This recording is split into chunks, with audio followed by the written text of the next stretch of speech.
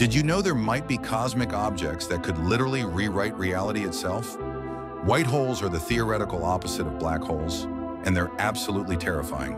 While black holes consume everything, white holes would violently expel matter and energy at light speed. Nothing could ever enter them, creating an unstoppable fountain of destruction. But here's the mind-bending part. They would spit out information from the future.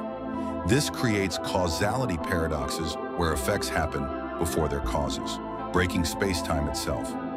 Some scientists believe the Big Bang was actually a white hole event.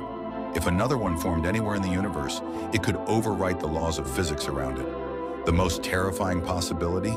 They could appear spontaneously due to quantum fluctuations. Imagine entire galaxies instantly flooded with impossible amounts of energy and matter. Reality would be erased and rewritten in an expanding bubble of cosmic chaos.